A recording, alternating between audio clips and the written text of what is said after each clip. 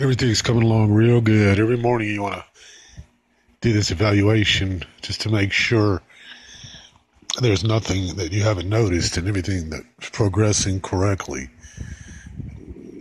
Uh, each day I do the evaluation. I also take a video of it or, or a snapshot just to chronologize the previous day and the improvement I'm making over the previous months. Going on almost six months face exercises, hour a day, six days a week. These things work. They're free, no charge.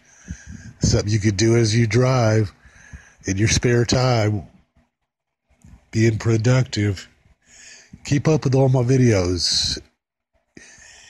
As long as you do the exercise, you will get benefits. If you don't do them consistently, then you will not get benefits. Stay with me on this. And all my haters, Ain't mad at you.